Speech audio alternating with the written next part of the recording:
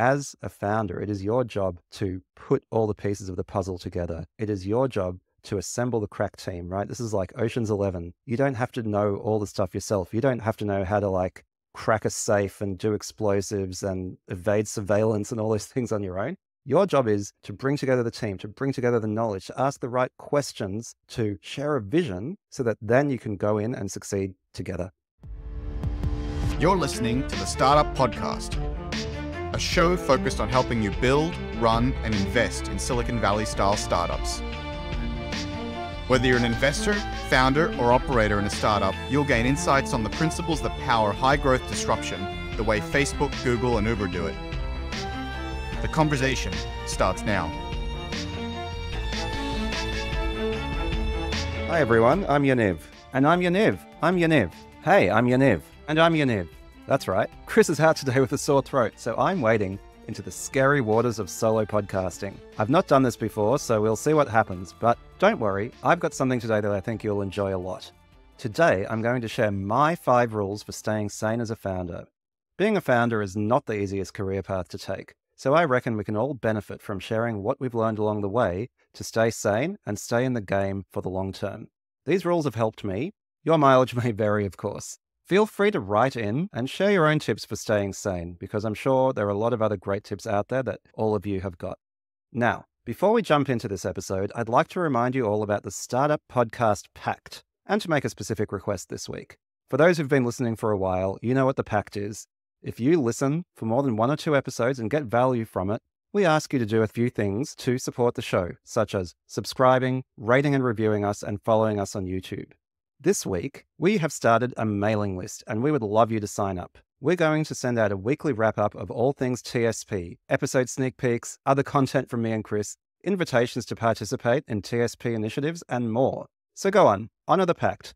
Go to tsp.show that's our website, and sign up to our mailing list there.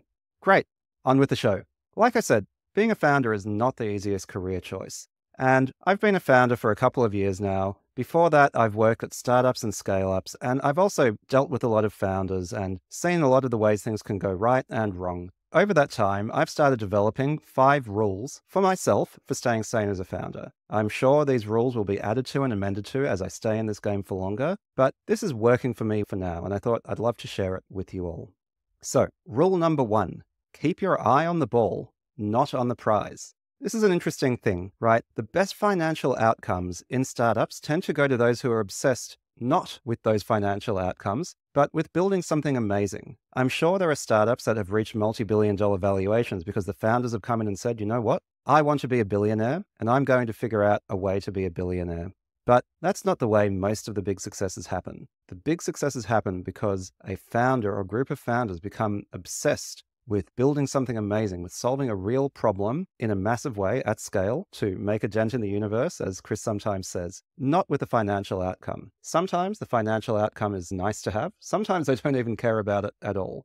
The financial outcome comes in effect as a corollary to really being obsessed with having impact, solving this problem. And the amount of value that's generated by doing that is what ensures the financial outcome. So there is this funny paradox, right? You cannot be thinking constantly of the prize. If you wake up every day for your startup saying, I can't wait to make a billion dollars, well, A, you're not very likely to make a billion dollars with that attitude. In fact, you're not very likely to make a billion dollars at all. There aren't many billionaires in the world. But more importantly, it's going to be a real grind. Every day you wake up, and doing a startup's not easy. It takes a long time. There are a lot of setbacks. If every day what motivates you to go to work is am I closer to having a unicorn? Then you're going to have a lot of days that are not going to feel good. But if you wake up every day and think, what have I learned? What are the best ways to address the problems that are in front of us right now? What is my next move? How do I solve this beautiful puzzle that I've set for myself? Then you will have a much better journey. You will have more longevity in the game and you will make better decisions that ultimately, in the long term, are more likely to result in that massive financial outcome. If you just want to get rich, honestly, being a founder is probably not one of the better ways to do it. Go into finance, go be an investment banker or something. Sure, there is a chance if you do a really great job that you will have a big exit, but that is not the reason to do it. If you focus on the big exit, it is likely never to come. You know, they say the watched pot never boils, and I think that is true with startup outcomes and exits. So there are a couple of other things that come along with this. The first is enjoy the ride. The outcome is uncertain. You don't want to be thinking about it anyway. So you want to be there in the moment, learning and enjoying every day in whatever ways you can, with whatever challenges it presents you, so that you can squeeze all the juice out of that day. At Circular, my startup, we have a number of values. My favorite value, and one that we didn't crib from anyone else, this one was completely original in a sense, was be present right? And that is one of our values because we say there are so many stages to a startup. There are going to be ups, there are going to be downs. The good times won't last, so let's enjoy them. The bad times won't last, so let's be present and reflect on them and realize that they're not going to stay forever. But be present and enjoy the ride because quite likely at the end of it, there won't be a financial outcome. Most startups fail, right? That is the outside view. Most startups fail. And so you need to be comfortable with that and say, well, even if it is failing, even if it has failed, it was a hell of a ride, and I learnt a lot.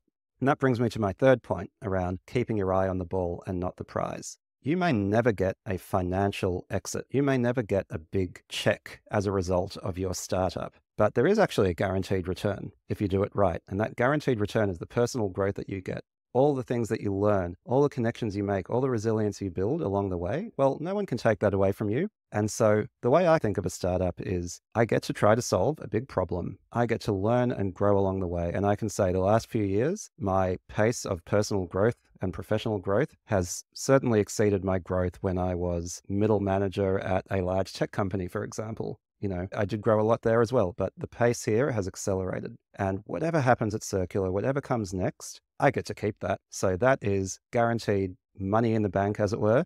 But what is not guaranteed is the actual literal money in the bank. So don't focus on that. Focus on the thing that you're definitely going to get and then treat the rest as a windfall. There's a sort of a variation as well of under promise and over deliver. Have lower expectations for your financial outcome.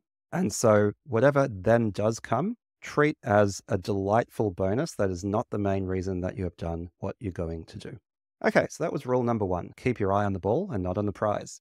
Rule number two, I call this observe the Stockdale paradox. So, the Stockdale paradox was probably made famous by the book Good to Great, which is a wonderful book. If you haven't read it, I recommend it very much so. It's available as an audio book, which is how I like to consume these fat business books. And the Stockdale paradox is named after an American military leader, I can't remember his rank, Stockdale, who was a prisoner of war in the Second World War. And he kind of led his men through years in a POW camp.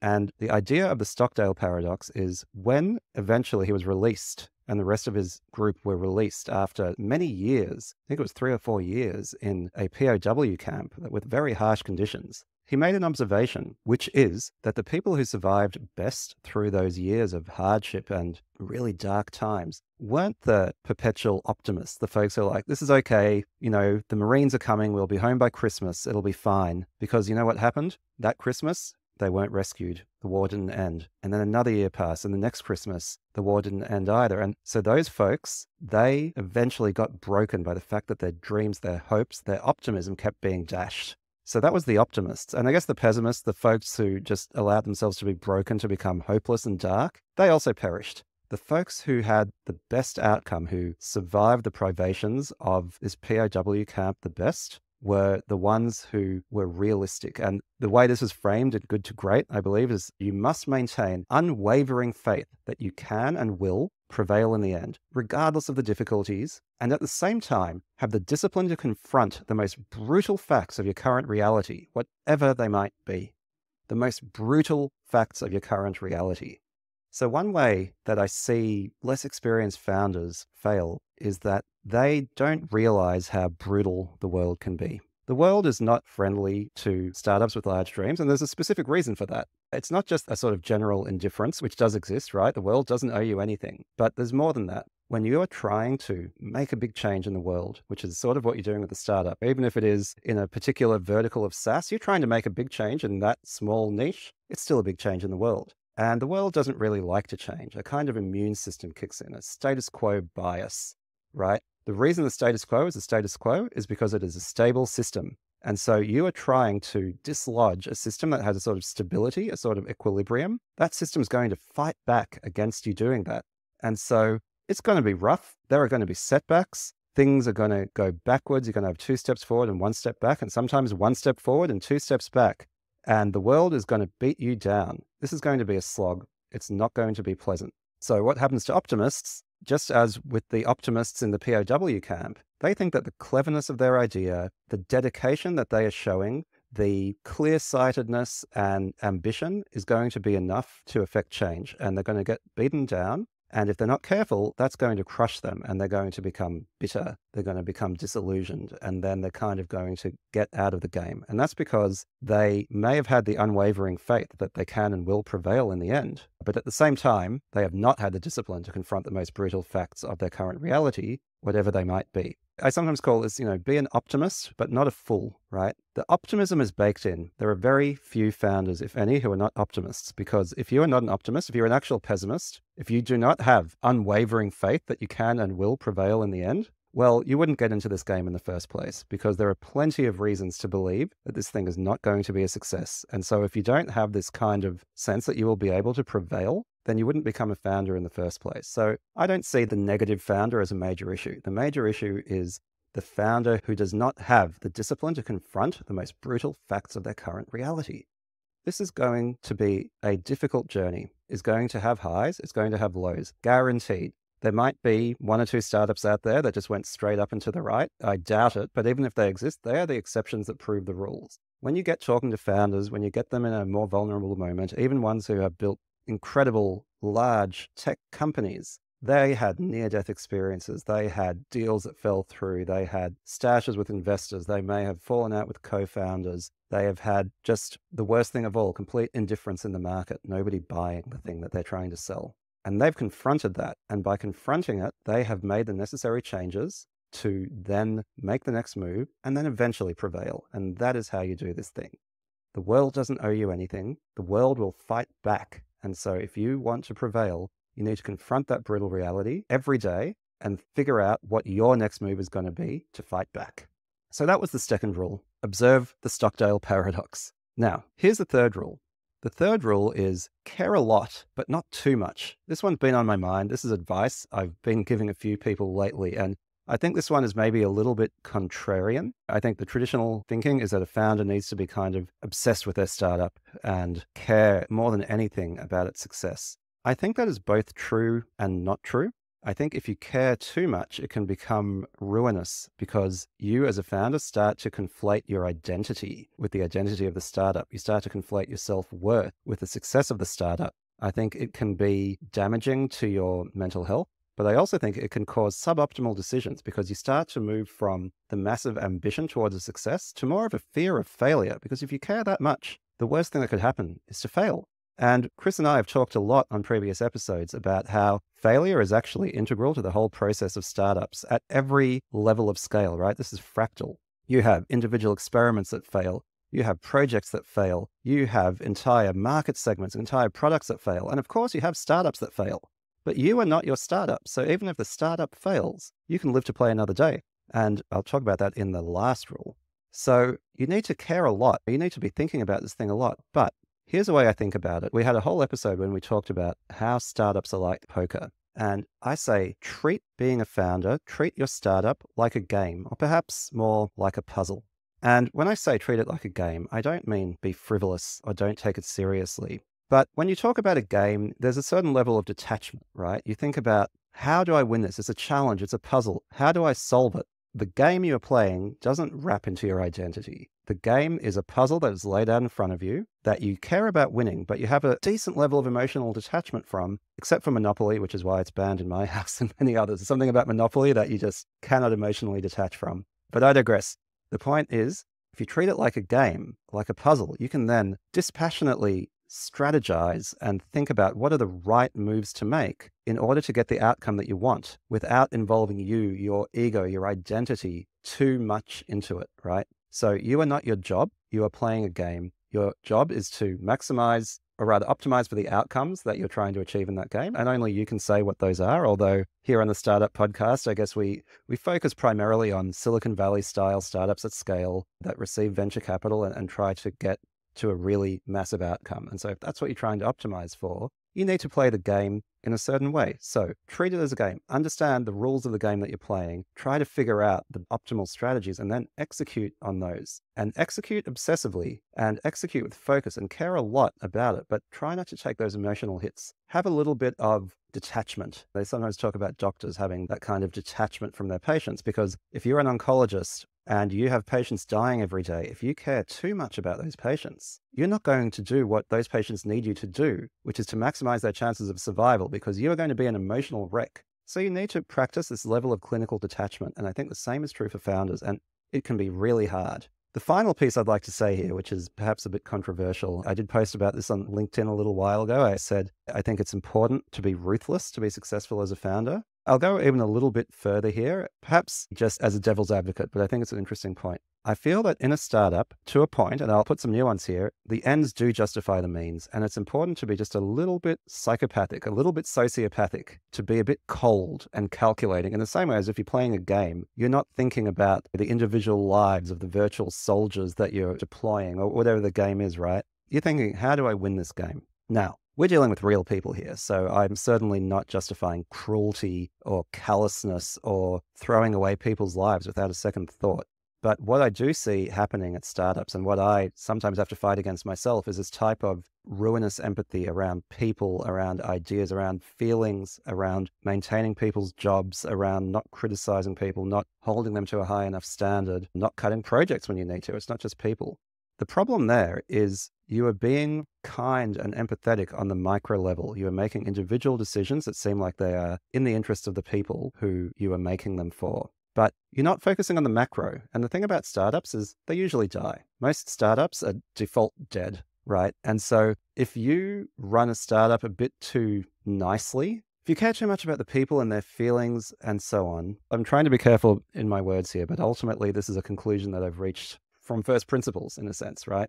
You focus on these micro kindnesses, on these micro acts of empathy, you will not be making the difficult decisions that you need to make to make the macro work, right? And so if you won't let someone go because they're not the right person for the job, if you won't provide direct and sometimes harsh feedback to somebody so they can do the right thing, if you're not willing to kill a project that is someone's personal hobby because it's not in the interest of the company, then the company will fail. And then the question is, all those people who perhaps you showed that kindness to, who you weren't detached from, who you weren't clinical about, are they now better off than if you had made the difficult decisions that get you to the end that you need to get to as an organization? And I think as long as you always act without cruelty, without callousness, if you act generously, if you act with empathy and in a human way, you really do need to focus on the ends more than on the means in terms of running your startup. And again, there are caveats here. I'm not telling people to be unethical, to break the law, to treat people horribly. No. But if you allow yourself to be distracted from a fairly single minded goal, that generally will spell ruin. And I think that's really hard. So that is my third rule for staying sane as a founder is care a lot. Care a hell of a lot, but don't care too much. Okay, here comes rule number four. Rule number four of how to stay sane as a founder is don't try to do it alone lean on others. It's popular to talk about imposter syndrome. And I think imposter syndrome, which is the sense that you are not fit to be doing your role, and it's just a matter of time until you found out as an imposter. I think this exists in a lot of different ways across a lot of different facets of society. But there's no doubt, as a founder, it's very easy to feel imposter syndrome because, nearly by definition, you are going to be facing novel situations, novel to you, on a very regular basis you are not going to know how to solve those problems, how to deal with those situations very well because you've never dealt with them before. You are inexperienced, you are ignorant in a whole bunch of things that you need to do to be successful as a founder. And so it's very easy to sink into this imposter syndrome to say, I'm not fit to be a founder because I don't know how to do these things. The realization that I had is the imposter syndrome only works if you think that a founder should have all the answers already, right? Because then you're an imposter compared to this mythical founder who has all the answers. And so I think when I realized that basically no founders have all the answers, that the job isn't to know it all and execute it perfectly. No, the job is to somehow, some way, muddle through and reach the outcomes you want. There's no prize for going it alone. There's no prize for already knowing all the answers to the test. You should be asking for help. Nobody has a clue about half the things they're doing in Founderland. It's true. So ask for help. There are no prizes for going solo. Now, does that mean you have to have a co founder? No. Personally, I think being a solo founder sounds pretty hard, but you can do it.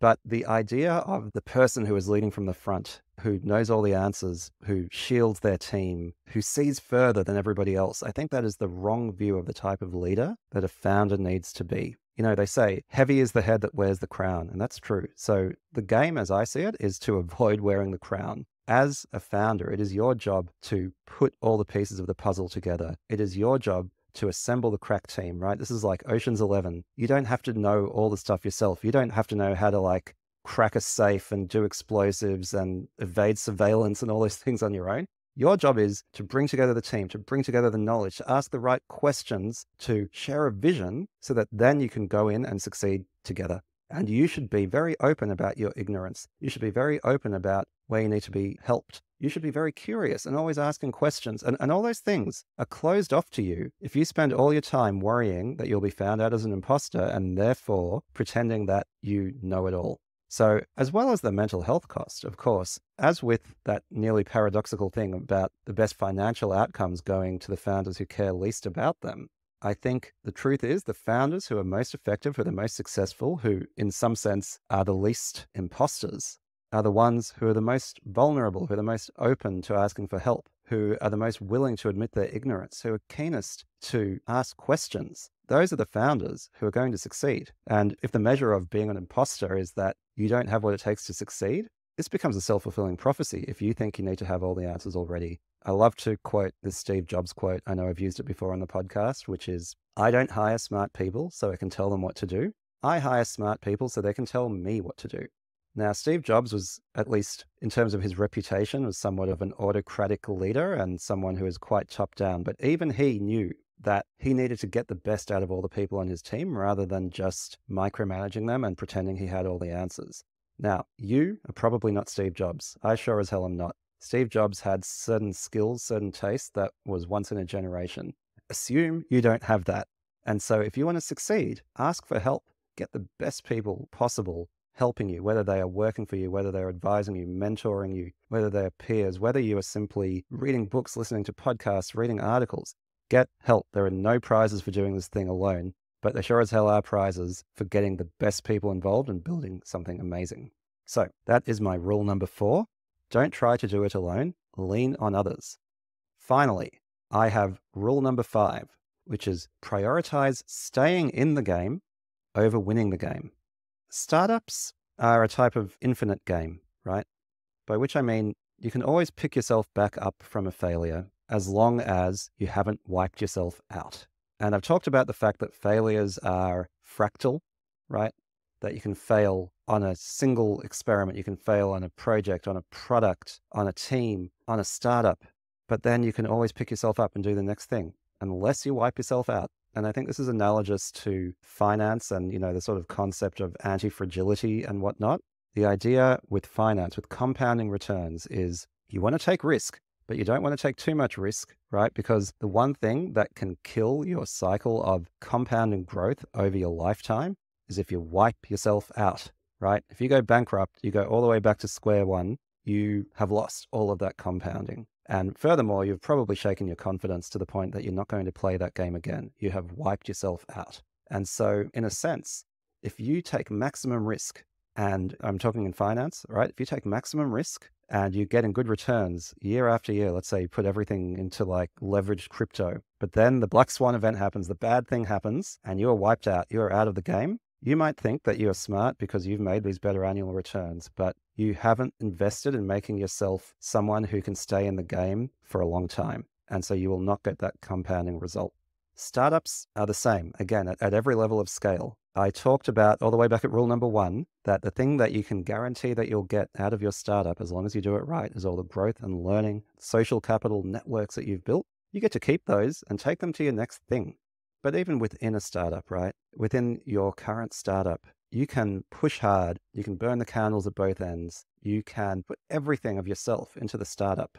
You can see sometimes now how some of these rules overlap with and interact with each other. If you care too much, right? Uh, I said rule number three care a lot, but not too much. If you care too much, That's a bit like putting all your money into leverage crypto, right? If your identity is wrapped into a particular startup, or even worse, into a particular solution to a problem, so you can't even pivot your startup, and then you do not succeed, you haven't just spent the time and capital or whatever it is that you use to try that.